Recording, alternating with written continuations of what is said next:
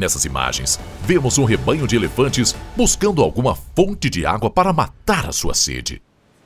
Mas por ali, tinha um enorme crocodilo espreitando e esperando o momento certo para atacar.